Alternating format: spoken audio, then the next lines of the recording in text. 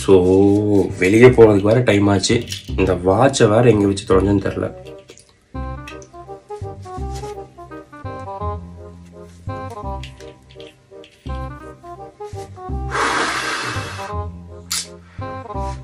கருமாண்டா இந்த மாஸ்கை போட்டுட்டு ஸ்பெக்ஸ் போட்டாவே இந்த மாதிரி ஃபாகு மாதிரி வந்துடுது.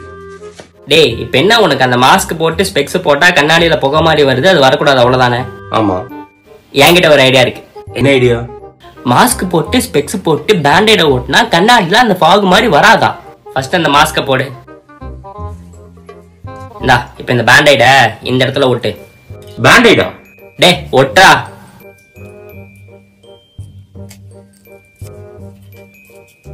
ஆ இப்ப கண்ணாடி போட்டு ஊதி பாரு.